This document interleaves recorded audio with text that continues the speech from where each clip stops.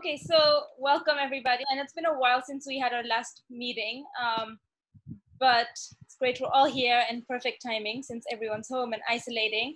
So we've got Georgina here with us today. Teresa can just introduce her um, and then we can get started and we can do question and answers at the end. So just hold your questions or type them in the chat if you think you'll forget them and then we can come to them at the end. So yeah, Teresa? Um, so from what I know of Georgina, um, I, I, actually work at an organization called DonorSee that um, that partners with her organization Pamoja Leo, and I think she's just doing really incredible work transforming orphan and vulnerable childcare um, in the Tanga region right now. And um, you know, this type of family preservation and reunification work um, is so important. So I thought that, you know, given all of the all of the challenges that she's currently facing as COVID is happening, as borders are closing, it would be great to kind of for her to share her experience of what she's been doing up until now and um, uh, yeah, and what the climate is looking like um, in, in its current state. So I, I, think Georgina probably is better at explaining her, her mission um, than I am. But yeah, we've loved working with her, and um, I think she's really making making an impact on the lives of so many families and children. Thank you, Teresa. it's really kind of you. um, so, yeah, my name's Georgina. I'm actually originally from the UK, um, but I've been living in Tanga region for the last six and a half years, um, working for an organisation called Pamoja that works specifically in the Tanga region. And like the core mission of Pamoja is really working to transform care for orphaned and vulnerable children. And so that kind of the way that sort of translates to the organization is specifically looking to reduce, heal, and prevent trauma for orphaned and vulnerable children, specifically under the age of five. Um, and the organization started out really with a big question What is happening to orphaned and vulnerable children? And the first thing that we, how we actually founded the organization was we started working with the Tanzanian government, asking, Do you actually know do them? And the, the, short answer was no, nobody actually knew. There was no central data that was collecting that information. And so we started actually as a very small um, effort of a few people, started out to collect that data in conjunction with Tanga District Social Welfare Department. And that kind of set off something much bigger than we ever anticipated because what we found out was in some ways shocking, but also in line with what globally is understood. And what we found out was most children who lived in orphanages had a family. Um, most of them had a living known family. Very few children were there because of abuse, very, very few children. And most of the reasons that children were coming into orphanage care were things like one parent had died, poverty, um, health crisis, and so when we started looking at that, that was kind of the basis of all the work that Pamoja Leo has done since. We started to say, okay, well, if we know that children need to live in a family, they thrive in a family, that it has many sort of social, emotional, psychological health benefits, um, and that trauma can have a lifelong impact on a child, what could we be doing to strengthen the response to children who, who, are, who are facing very real crisis? And so Pamoja then started to work with both the government and also providing our own services. And we started with the biggest one, which was okay, babies. Why are babies falling out of their family? And the biggest thing that we found was mum died. Mum would die, and then the child would be sort of either sent away, or what we ended up finding out was suffer quite severe consequences of malnutrition. And so we started a project to provide formula milk for babies whose parent, whose mother had passed away, and train and support the female caregiver, any female caregiver that would stand up and step in to parent that child. From that, we then started to meet weekly with these parents to new parents to weigh babies um, and to make sure they were growing. And the response was amazing. Children were thriving, families were doing amazing, and children were just doing really well in family based care. And the project started to grow from there. We started then supporting families to start businesses so they could sustainably care for the children in the future. From that, we then also started a free daycare service and business training program for kinship carers. So basically, any grandma, aunt that took in children and giving them business skills and also a free place for their children to come during the day so that they can, um, you know, improve their economic earning capacity. Um, and so those were really the two core services that we started to provide children at the beginning. And what we started to find was actually we could keep children in a family um, most of the time instead of them having to ever be separated. And the consequence of that separation is just documented to be so traumatic that actually in 2019, the UN General Assembly met and uh, that every country ratified and signed that they would all countries would now move away from orphanage and institutional forms of care into family based care because it was just so overwhelmingly documented how traumatizing and negatively that impacted this, the, the brain development of especially infants, but also the long term social consequences of being raised in an institution. And so we then looked at, well, you know, how do we keep this going? Some children really do need a new family, especially in cases of abuse. And so we started training and recruiting foster parents. And we've now got 15 foster families in the Tanga di- district, and we're about to roll out pre COVID um, to the Tanga region um, to start having foster families who are there as kind of a safety net, social safety net for children who really can't stay in a family of origin, maybe because of abuse or abandonment, um, that that's just not an option. And again, it was one of those things that socially everyone was like, that's not going to happen. That's not really possible. Tanzanians won't foster. Tanzanians don't do that. And actually, we found the absolute opposite response that through a lot of training and awareness raising that we had an extremely overwhelming response. Just we, we were only actually seeking eight foster families to start with. We had 29 families come forwards and selected 15 from from that from that group of families. And so what we've started to see is that actually it really is possible to raise children in families and that it, it, it works. Um, so we now work with the tanzanian social welfare department to reunify children to get children home who are currently in orphanages back into families. We also run a lot of prevention programs now. So we work on um, educating families and children on sexual abuse and sexual violence and what it is. Um, and we provide services to children who have been sexually abused. And then we do a lot of family strengthening work, predominantly focusing on children under the age of five. And so that's sort of who we are and what we do in a nutshell. I've tried to be as succinct as possible. not my forte. Can you um can you share some of uh, some of what's happening uh, in in relation to coronavirus and how you guys have been responding and I don't know any hardships that you've been sure. facing? Sure. So I mean, schools cl- closed, and obviously we run a big free daycare program, and part of that program is a feeding program because majority of the children that we got referred to us we sort of cycle around every January, we have new children start.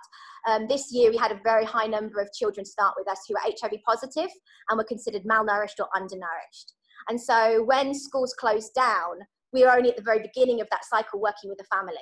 And so a lot of the children that we were working with, we were just at that sort of very beginning stage of let's get the kilos up of a child, let's start working on some very sort of basic, immediate work with, with these children. And so when schools closed down, that basically meant that the feeding program also was changed drastically. And so we had to adapt our services to start providing food parcels to send home to the children. And we've turned ourselves into basically a Meals on Wheels service, is the best way to describe it. And driving around, we've got a big yellow school bus that somebody helped us buy last year. And we stock it up with food, a social worker, a teacher, and a driver, and drive around to all the different communities that we work with, uh, providing food um, a social worker does a, a distance checkup and check in on children. So from afar, make sure that any kids that we're worried about in any way, um, we do put eyes on children that maybe are a bit more at risk of, you know, losing weight. We're also able to then check in on children who, who are HIV positive and check their clinic cards and their medical cards. Are you going to clinic? Are you getting medication you need? Um, majority, I think about a third, just over a third this year of the caregivers we work with are grandparents. So we've also got a lot of work to do with actually supporting grandmas. And, um, and about another, I think, gosh, I think it's about another third of the caregivers themselves are HIV positive. So what we've really realized is during, during this time, Whereas we previously used to provide food just for the children that were enrolled in the program, we've had to really expand that food provision just as an urgent need just to, to, to kind of keep families okay. You know, families lost as well work. You know, many of the families were doing very small business skills and so we had people who were selling cakes at schools you know that income is just gone overnight um, people who were doing casual labor work gone. There was people that would do casual labour breaking stones at a factory, you know, in one of the areas. They all got told, you know, we don't need you anymore. So very quickly, people who kind of had a two-day buffer maybe for food were really going, oh, I don't know, don't know what I'm going to do now. Um, so one of the biggest things we have done is turn our services into a, just a meal response, really, food, um, transport. The second big thing that we kind of got hit with is we provide a, the only free milk service in Tanga. So uh, we have children that travel from Pangani, Segera, um, up into the Usambara Mountains. And two things happened when, when, when people traveled less.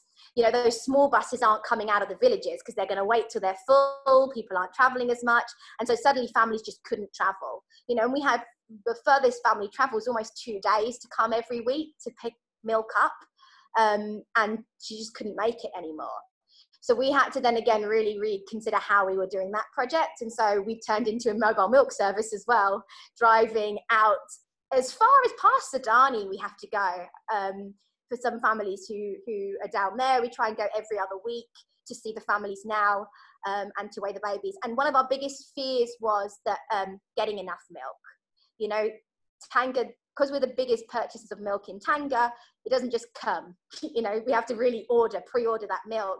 And there's just been a lot of, um, you know, most of the milk is imported from South Africa, and there's a lot of worries about getting enough quantity of milk. So we've been pushing to do a big fundraiser so that we can afford to bulk buy milk in much larger quantities than we used to. We also used to fund milk through like sponsored running events and they've all, just gone. You know overnight everyone that was doing a sponsored run has just had to cancel you know those sorts of things. Some people are still trying to do things but it's really impacted our milk provision budget. And so that's been one of our biggest stresses is trying to secure enough milk that's going to see us through you know who knows how long. So those have been some of the two biggest challenges that we've been facing because cases are still being referred. That's the other really difficult thing. It's like mums are still dying in childbirth. Babies are still needing to be referred for services. So it's like you can't stop but you've got to kind of really reinvent the wheel. And it's a really hard thing to plan for. Who knows how long this goes on for? Who knows how many babies we'll be you know always providing for? So getting enough quantities of milk has been one of our biggest challenges um, to date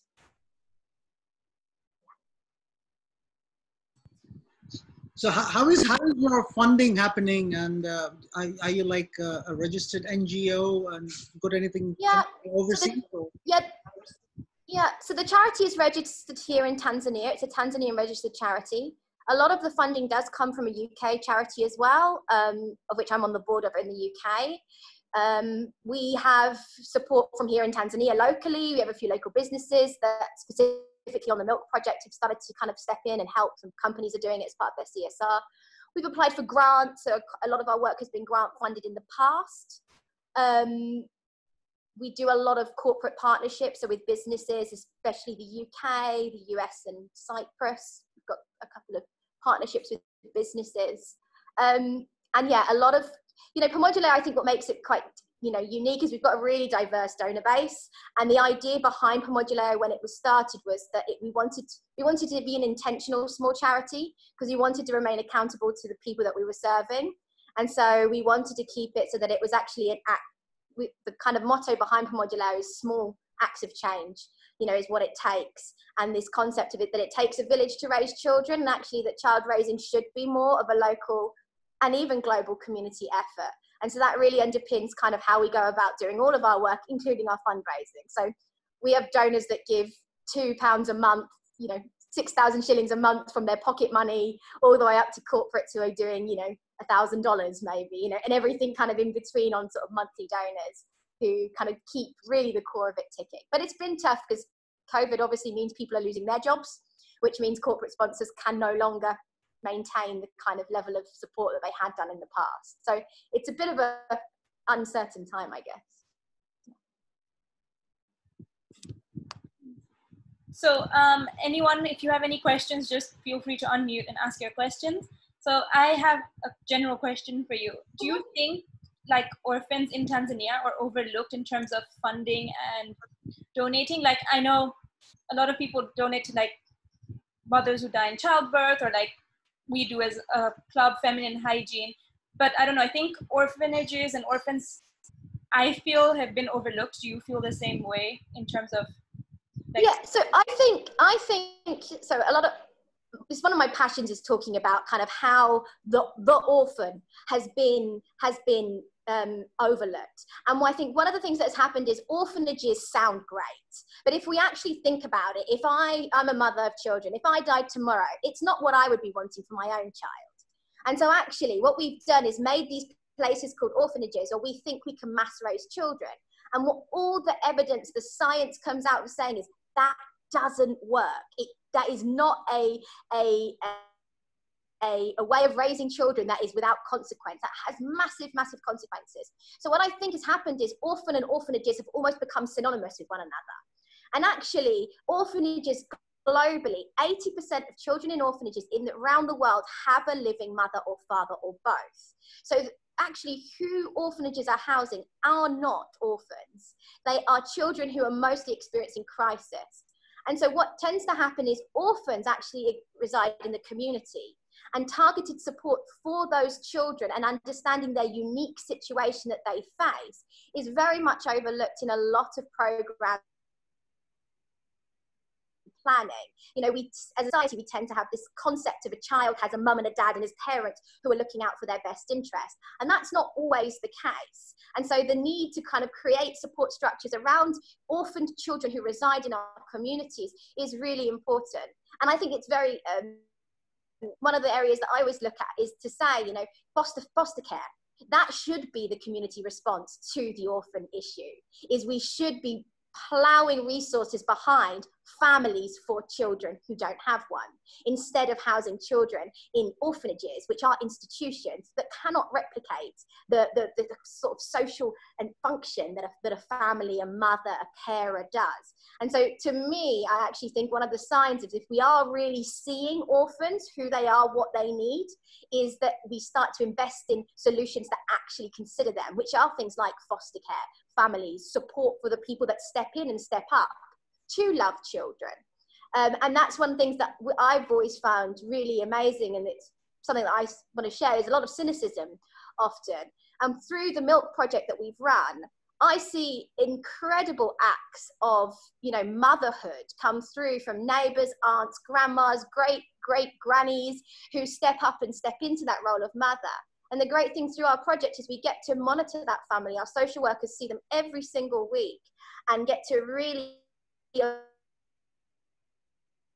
that relationship grow. And when we become a year, um, when you see that family graduate off, it is like that child has been created into a family. A, a son or a daughter came out of that, and that should be you know, at least the goalpost for care for vulnerable children is to be able to create family um, and not to permanently segregate or separate children because, you know, we all have those same basic needs is a family to care for us on top of all the other things that we need. Um, and the other thing that's worth noting as well is orphan and vulnerable children are, orphan children are, are at a much higher risk of abuse. And particularly in orphanages, interestingly enough, a child's risk of abuse in an orphanage is significantly higher than in a foster family, biological family. And that's data done by the UN um, that's over many, many countries. Tanzania was one of them that they surveyed um, that looks at abuse. And orphan children are at much, much higher risk of being abused. And so, again, targeting projects that, that, that keep that in mind and, and are, are conscious of that, uh, of that need is really important. Thank you. Anyone else? Do you have any questions for Georgina?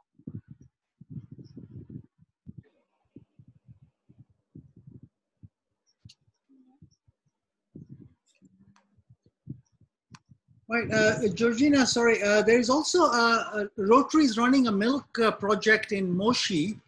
Uh, I will try and connect you to them as well and just see if there is anything that, that you could. In Moshi? Yeah. I didn't know that because we have a little group actually of people in Tanzania who run similar projects with milk. okay. to try and support one another and who are trying to do more around keeping babies in families.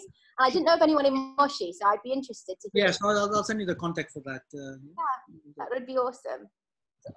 I have a question on um, sure. like the I guess social welfare of the caregivers. How do you what do you train them in? What mm-hmm. do they end up doing? How do they earn their money to support now this I guess extra child that they've had to now take under their wings? Yeah. So what we tend to do is our model works pretty much for the first six months, just focusing on the child um, and just understanding the relationship between child and caregiver and working on that with counsellors if that's necessary. So after about six months, a family can graduate into what we call our Mamapreneur project. Uh, and we've done different things um, to date. And currently, what we found to be quite a successful project has been uh, we've done some training around soap making and um, getting families trained by a soap maker, and then they can go and sell that in the village. And that's been quite a nice one here in Tanga that people have um, really benefited from doing. We've had one auntie been hugely successful with her soap making little empire. We've sent a few people to VETA if that's appropriate. Um, so VETA vocational training schools uh, to learn tailoring. We graduated a group of 10 tailors uh, last year. That tends to be a favourite, although I'm a little bit more reluctant to keep helping more tailors because I'm not sure that it, there's the demand for it, although it seems to be a popular choice.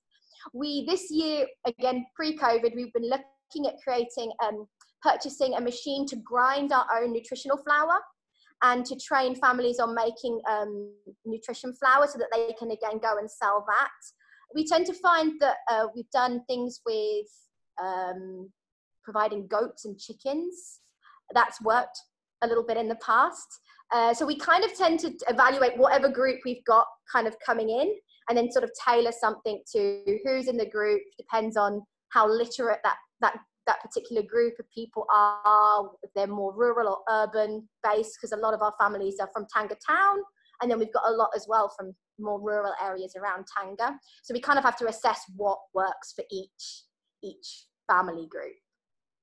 And a lot of the time, just one other thing to add is sometimes for some families, just the daycare can be a huge change for them because they can then go out and make a living in the shamba or doing what they needed to do and not have to worry about their child. So actually a lot of the time for some families, not all, but some families, it's enough that the bus comes, picks up their child in the morning, takes them to a daycare, they're happy, fed, and then drops them back at home in the afternoon. And then that family can that that, that grandma or aunt can then go and earn a living, especially, you know, when they're taking in younger children under the age of five who aren't school aged yet that tends to sometimes be enough for a family that they can then say, oh, actually, I, I can do it on my own after that. Uh, how do you differentiate between street children and orphans? Because you said orphans are not really um, people, I mean, children without parents. The same thing is true for the street children. Um, They have left their houses because of a struggle or abuse or anything. How do you differentiate if they do come into your center? Sure so Tang, Tanga doesn't have as big of a street connected child problem as say Dar es Salaam does. Um, so Tanga does, an orphan is defined as a child who's lost one or both parents. So one parent would be a single orphan, two parents would be a double orphan. To most people in our minds, we think orphan, no parents. Um, so when you're talking about, that's why the term kind of the, the, the catch term is orphaned and vulnerable child to connect to children who have also maybe been neglected or abused or do not have a okay. family able to meet their needs. So that's why the kind of catch-all term is orphaned and vulnerable child to, to, to connect to all of that. The reason I bring up that not all children in orphanages are orphans is because it changes the way we think about it. If the children in there have parents, why aren't we helping the parents? And children who come into orphanages, by and large, in Tanzania, we don't have much data, but the data that we do have from Tanga, by and large, the biggest reason behind a child coming into the orphanage is that their parents were poor.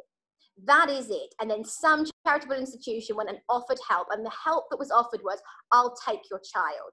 And actually, under Tanzania law, that's not allowed to happen. It's actually not legal under Tanzanian law. But that has been, by and large, how the system has operated up until date. Is that when families seek help, often the only help offered is I'll take your child, which, you know, in many cases people think and believe it's a great thing to do. But what we do know is you can't take away children and raise them in institutions without that having a long term consequence on the psychological well being and development of that child. So it really needs to be looking at if we can consider that most of the children in an orphanage have parent or a family, then it kind of changes the way we start to think of, more of our work should be focused then on supporting that child back into their family versus, so for example, with the milk, if, if we know that children have families behind them and maybe the, the reason they're there is their family are poor and their mum has died so they can't afford the 19,000 shillings twice a week to feed the baby then if we took away that barrier you know majority of the babies in baby homes wouldn't need to be there anymore if if we just gave the family you know the services that they need versus taking that baby outside of the family. And especially with babies for every three months that a baby is in an orphanage they lose one developmental month um, through research has shown. So it's really having a long-term consequence on their development in those particularly those first two years. And children can develop things like attachment disorders and it might sound like a small little thing but you know our basic attachment at those first two years of life set us up for everything to love to trust to risk to to do i mean we all we all are who we are because of that attachment that we created with caregivers in our lives you know when we cried someone came when they gazed into our eyes lovingly, we responded. And that actually wired our brains. And when we, de- when we deny children that, the consequence is huge. And so, and what the research just shows is orphanages cannot replicate families. And so we, we you know, we really need to be more aware of providing developmentally appropriate solutions to orphaned or orphaned and vulnerable babies. So the foster families, do you fund them as well? Yeah, so um, foster care in Europe a lot of the time is professionalized foster care. So you get paid foster parents. And a lot of the research coming out of Africa said that that doesn't really work. And so we consulted with some different foster care programs from Rwanda, Uganda, Malawi. And what they found was that actually, when you professionalize foster caring in the sense that people got paid a salary, it didn't work so well. And so we designed the project with the government to ensure that families were supported but were not paid to foster. And families are very aware of that when they register. And so what we currently do is we have what we call the foster closet. And in a foster care closet that we run out of Pamoja every child that goes into foster care is given a backpack. And we try and fundraise for those and people do in-kind donations. We have a couple of people from DAR that have helped us in the past collect items to pack into those bags. And what that means, what, what we put in there is to take away that financial shock. So, you know, clothes, bottles, bed sheets, a mosquito net, um, cutlery, you know, anything, little books and toys. So that child goes into that family, and the family are not like burdened with a huge financial cost. The government also has agreed in Tanga. Interestingly enough, foster care is run on a district regional level, not at a national level. So every region can design its own program within the like legal framework. But in Tanga, they have agreed to waive all medical and education education associated costs through the government to any child in foster care. And so what that means is the family is basically left to be able to provide food for that child. Um, and most families do sign up in full awareness that food is part of that. Now, for example, right now during COVID 19, we have included foster families now with getting a small food parcel because we know that their economic hardship has increased and therefore we do not want them to not care for their foster child because of that so we have you know and there is provision within the law for that but fundamentally what's really almost more beautiful and amazing is there are 15 Tanzanian families here in Tanga that have stepped up and taken these children really into their lives. And it is beautiful the relationship that we're seeing foster mothers develop with their foster children. And I'll just give you an example. We've had a little girl who was sexually abused by her stepfather, and she's been in foster care. And it's because of her foster mum that she has had the courage to speak up and speak out about what happened to her, her foster mum. And, you know, in a, in a context where you know, Tanga has the highest rates of abuse in Tanzania towards girls. In 2019, it came out. Um, we also have a really appalling uh, rate of conviction. because children often change their testimony. And through foster care and foster parents being trained, they're trained dealing with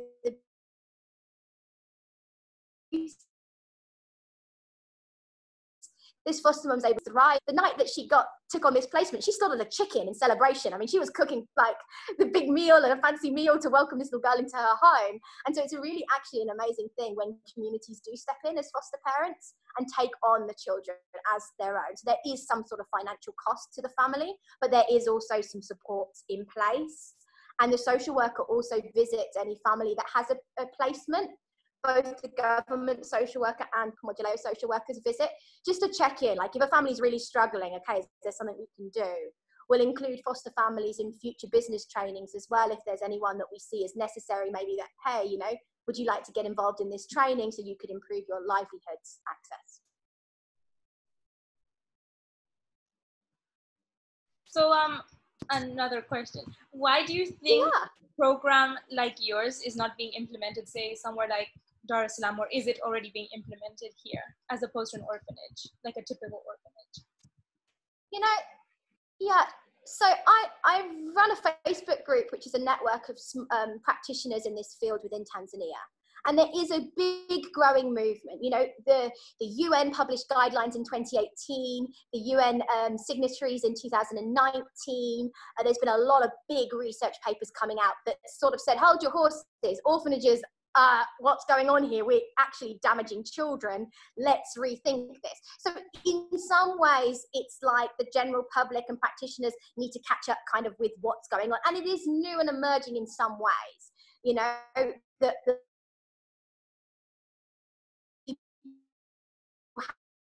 haven't quite caught up to what the science is mentioned in a lot of ways and it is growing. At so has provided um, created some tools to help orphanages that are looking like okay we want to change but we don't know how. Another big thing is donors. Donors like orphanages I mean, it is it is one of those things. If if I go to you and say I'm running a family reunification project, a lot of orphanages have found that donors run to the hills, and so I actually believe that a big part of it is donor awareness. Because if people don't know what is the you know, evidence-based best practice to intervene for orphan children, we keep funding things that aren't in children's best interest as much. So I think donor donor awareness is a big, big contributing factor. And in some ways, it's difficult leap to make because you know dealing with just a child and you can say child rearing i mean it's difficult i don't know how many parents are here but child rearing is not easy but you're not dealing with complicated societal issues so most children end up in orphanages because of a, a foundational reason. They're there because of health concerns. They're there because somebody died. They're there because they need milk. They're there because of poverty, right? They're there because of their disability. What those require is more complex and more complicated often um, types of interventions and it can be a scary leap to make so i think a lot of the time it's also just fear and skill um, and without you know i i really do not put any sort of negativity towards people running orphanages i believe that it, it, people do what they believe to be right at the time. But i just think another thing is a lot of orphanages if we look at who runs them and who funds them they don't tend to be practitioners. They big hearted people. Churches must be social workers or development practitioners, by and large. I'm not sort of saying everyone, but by and large, it's sort of a humanitarian response. And therefore, a lot of the time, it's not run even in line with Tanzanian law. And I will mention Tanzanian law is fantastic in the sense that it protects children, and it, it, the law is very clear children should not go into orphanages unless it's the last resort, unless um, they have tried foster care first. So the law is written in a way that absolutely supports what I'm saying the problem has always been implementation and practice. And that, uh, by and large, is because the Tanzanian orphanage care system is predominantly a privately run system. It's not necessarily government run. And so when we did our research, we found, for example, all the orphanages in Tanga, there's a law that says you have to have a social worker on staff. Not a single orphanage had a social worker on staff. Well, without a social worker on staff, you can't ensure that there's anyone actually implementing the law properly. The law also states that you cannot recruit children, you can only get children referred through three mechanisms um, of the law. And that what we ended up finding was that 78% of children were not referred legally into the system. So they were referred through other means. So there's a big problem, and it's not. I'll give you another thing: is orphanages can raise money. Um, and especially maybe a little, I mean, in Dar a little bit, but Arusha Moshi, they've become tourist attractions. And it's not, doesn't make up the whole landscape in Tanzania, but it makes a big percentage of it. I, I sort of, you have to categorize it down a little bit. There's people doing it for different reasons. But you can't ignore that. And the UK, US, the UN have all recognized actually that orphanage trafficking is a new form of modern day slavery. And what it means is that children are being placed in orphanages purely for the tourism dollar that they bring in. So they're being actually just recruited. Say, hey, you know, bring us the kids and we can raise some tourism dollar. And Tanzania is not exempt from being actually one of the hotspots of that happening around the world. Cambodia, Kenya, Tanzania, Nepal, Thailand, these are all countries where orphanage trafficking is very high, particularly in tourism hotspots. You'll find, for example, in Arusha, they have more baby homes than the rest of the country combined. It's not because they have more orphan babies, it's predominantly because they are in the line of the tourist trail. And it has become part of the landscape that you go on safari and you go and visit an orphanage. And that is challenging because it disincentivizes orphanages to become empty and that should always be the goal is that these babies should be finding a home. And actually the incentivization is you know the younger the cuter the more volunteers and donors that are going to come. And so orphanage trafficking is a big reason that you know a lot of orphanages don't want to change or will refuse to change because of that. And so there's I hope, I mean, it's a complicated question, but there's a number of reasons depending kind of on why they were started in the first place. So anything from a little bit more sinister into this didn't know better into we want to change it, we don't know how. And so I think there's, and there are more programs like this in Tanzania, but they tend to be smaller because they're harder to fund. They are absolutely harder to fund.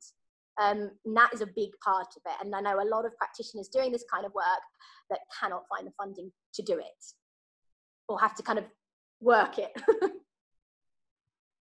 Thank you, Georgina. Does anyone else have any questions um, for Georgina or comments even? Anybody?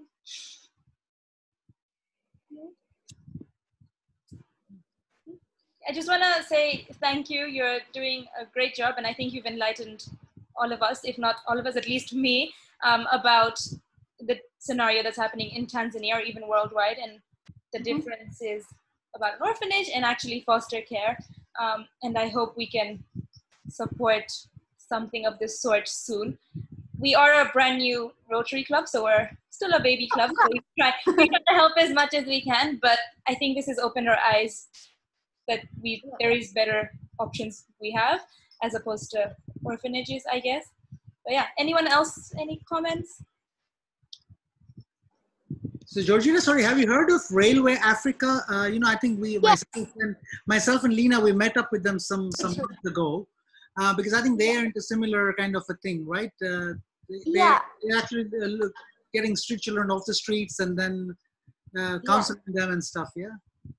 Yeah, railway railway children. Actually, they were supposed to have a conference just hmm. before the schools were all shut down, and Pamoja was going to be one of their speakers on working with children under the age of five. So Railway Children do a lot of work with street children and getting children back into families, and they actually just changed a little bit, and they're supporting orphanages now who want to flip their model. And so they've just gone into that for orphanages that are looking to get teenagers, particularly, back into families and who lack the skill around reunification and family based care. They've actually started a project, I think it was last year, um, working on that with a few orphanages. I think one of them was in Dar. I believe I'm not. I'm not entirely sure. I spoke to them at the beginning of the project. So yeah, they they do similar work, but more focusing on teenagers and and that sort of later age. Whereas we're more focusing on children under the age of five. But yeah, they do some fantastic work as well. Right. Have you had any instances where um, a child is abused in foster care also? Not to date, no, not to date. I mean, it's a relatively new project, um, and that is obviously something that you you you have to always be aware of. So families are there's and there's quite a strict process that is gone goes through. So ch- families have to be recommended by their Mwenyekiti, their religious leader. They have to have all these referrals to them. Uh, they then are home assessed. Did I go? So they're then home assessed and they're visited regularly. Now, I think a lot of the stigma around foster care comes from a European model and an American American model, and I, I think it is important to consider that it is very different in every kind of cultural context. Um, and just statistically, children are far more likely to be abused in an orphanage than they are in a foster family. So abuse is, I mean, child abuse is just rampant in any kind of setting. So no setting is ever going to be foolproof or able to kind of completely um, stop that. But I just statistically, it's less likely in a foster care setting than an orphanage. And the vetting process is, is has been done quite well, especially the one that I've been part of here in Tanga. Um, to kind of monitor families, keep an eye on them. Some things that can be done as well is to only put sort of young teenage girls in with single women. Um, has been some of the other mechanisms that can be put in place to kind of reduce uh, chances of any anything like that. Um, and yeah, there's just the regular checkup, which the foster child has a connection to a social worker. And that's one of the big things that is positive about that is when children are in orphanages, they don't have enough community contact. And community contact is what really um, allows us to spot abuse.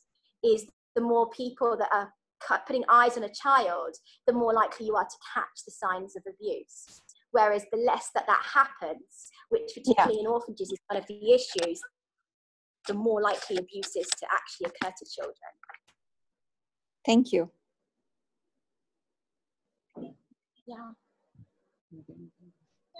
Any anyone else? Do we have anything to say?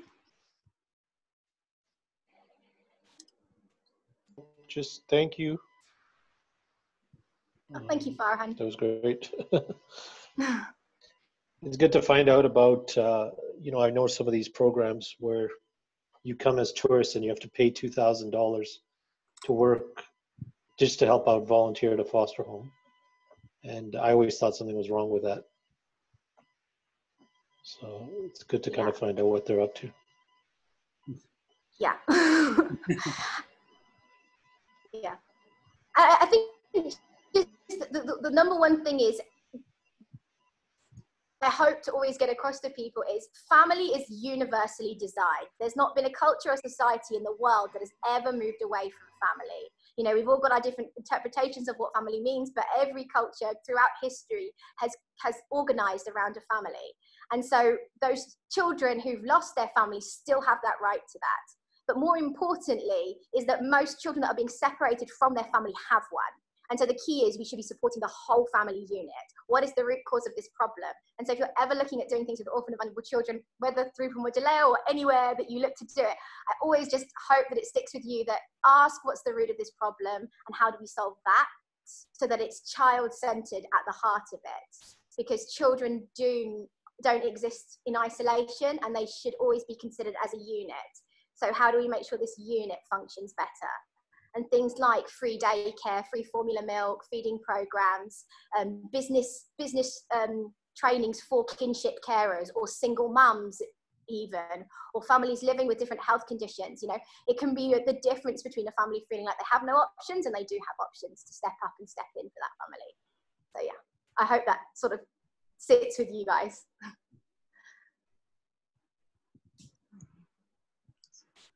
and Karibu Tanga. cool.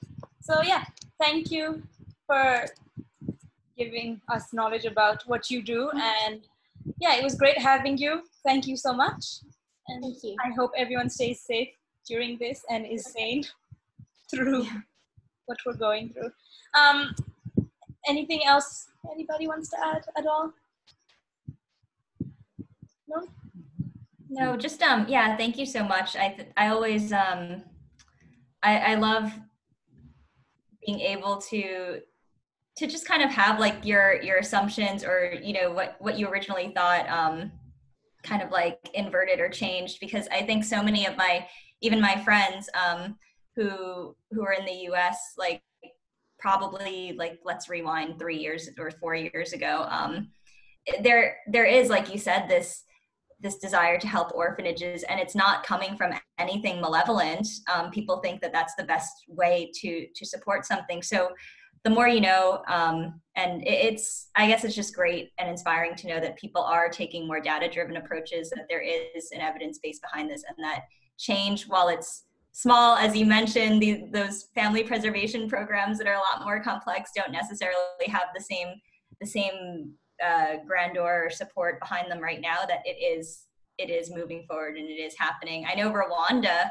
like they were doing their um, like a big campaign to get rid of orphanages and i hope tanzania will be following. So i think it's really exciting that you're leading this this program actually especially if you just look at the country surrounding and see the trend the global trend that's that's occurring yeah. right now.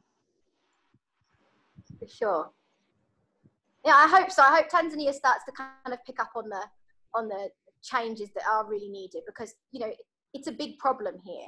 It's a really big problem here. There's a lot of small children being raised in orphanages that don't need to be there and there's so many better ways that we could help them you know reduce their trauma and become educated successful healthy members of society which i guess is the goal of all of these kind of support projects isn't it and so um, i just think we can do so much better when it comes to that demographic of children for sure amazing so thank you everyone for joining us today. And if you guys have any suggestions for any more speakers in the next, well, in two weeks time, you can just shoot me a message. And yeah, I hope everyone stays safe. And thank you so much, Georgina. Thank you, Menka. okay. Nice to see everyone. Stay safe. Thank you. Thank you. Take care, everyone. Bye. Bye. Bye.